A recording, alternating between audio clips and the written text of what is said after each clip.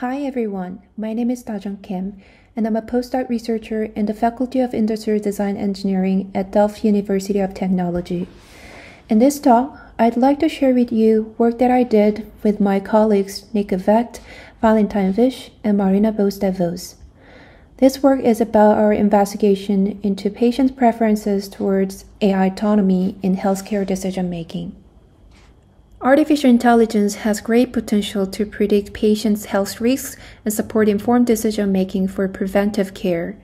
Previous research in HCI has focused on understanding how clinicians experience AI assistance in clinical decision making and supporting effective clinician AI collaborations.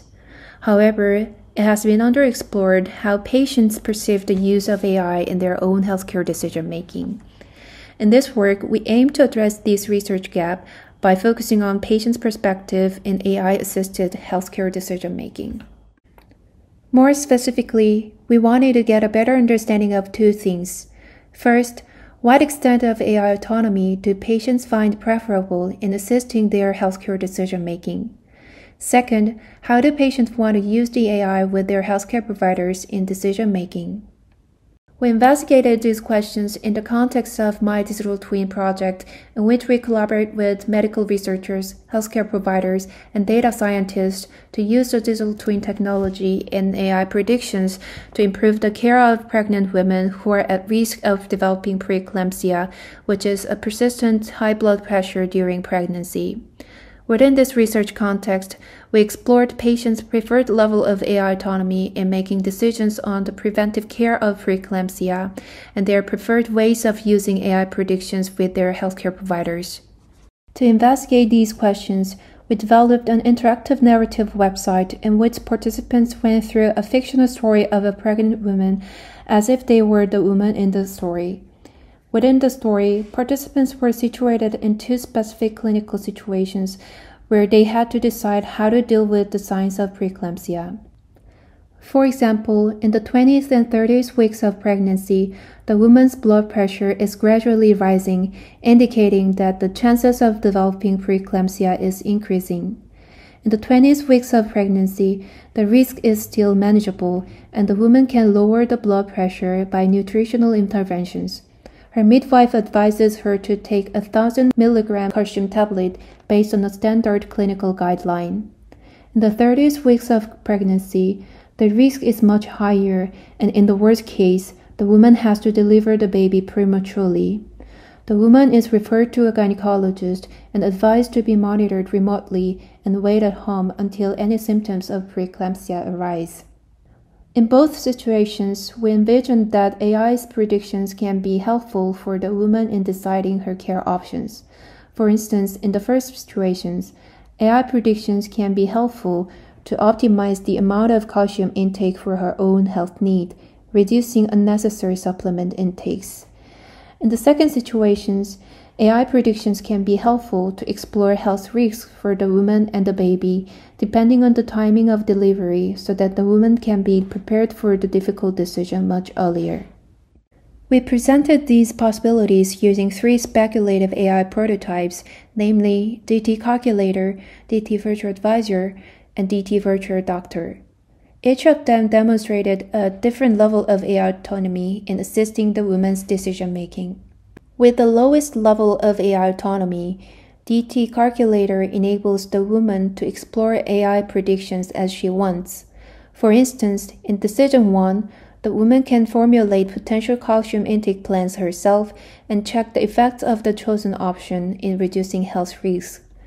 With the mid-level AI autonomy, DT Virtual Advisors recommends a range of care options proactively while respecting the woman's autonomy in making the final decisions. With the highest level of AI autonomy, DT Virtual Doctors makes its own decision for the woman and she follows it. For example, in decision 1, the virtual doctor automatically gives the exact dose of calcium that she needs, and in decision 2, it decides the optimal delivery date based on an acceptable minimum health risks for the baby and the woman.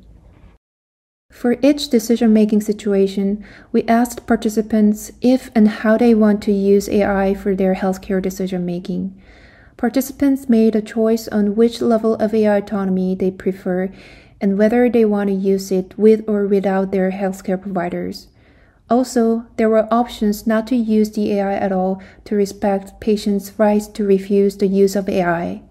In total, 27 participants went through the interactive narrative either in the interview sessions or via an online survey. All of them had experience of a pregnancy before, and 10 of them had experience of complications during their own pregnancy. In the interview sessions, we asked the participants further questions to understand the reasons why they made certain choices in the story. From the analysis of the in story responses, we found that participants' preferences for AI autonomy varied in many ways. Our discussions with the interview participants gave us insight into several factors contributing to these differences.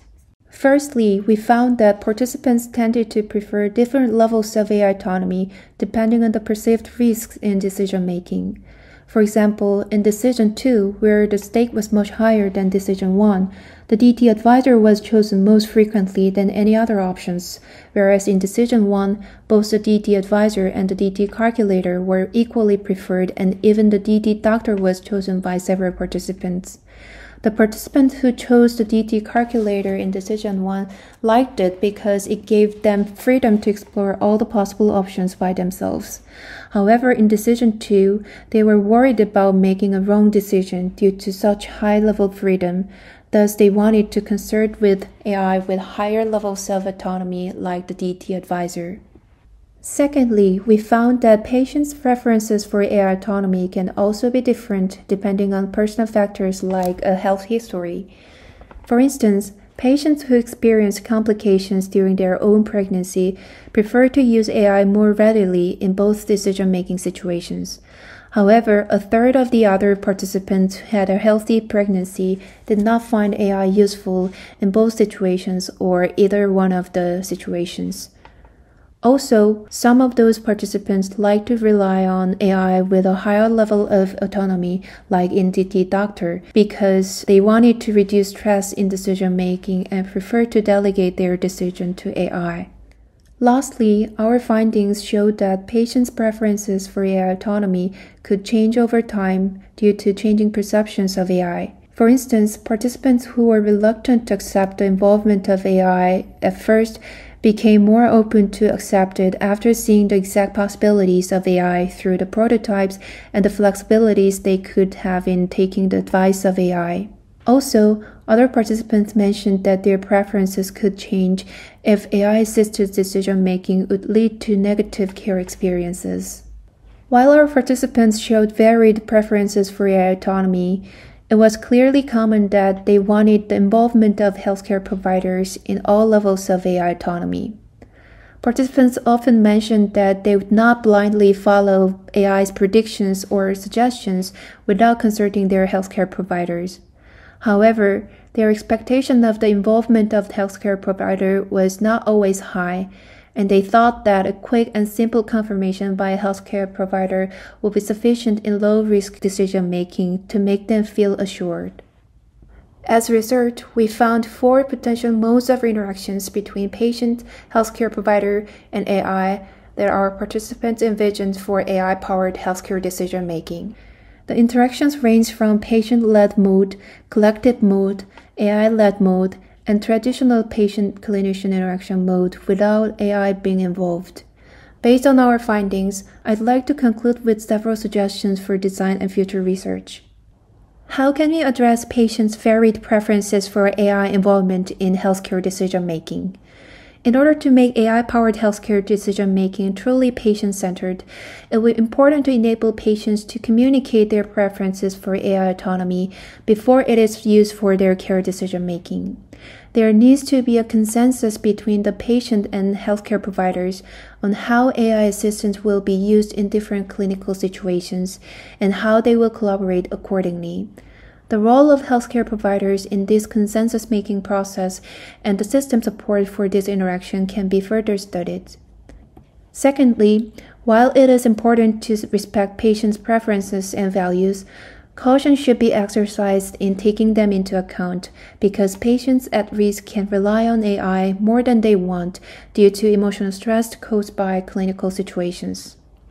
Lastly, it is important to keep in mind that patients' preferred levels of AI autonomy can change over time. Considering these dynamics, it is important to assess patients' preferences for AI autonomy regularly and align the assisting behaviors of AI accordingly with the needs of patients and healthcare providers. Thanks for listening. For more information about this work, please refer to our paper. Thank you.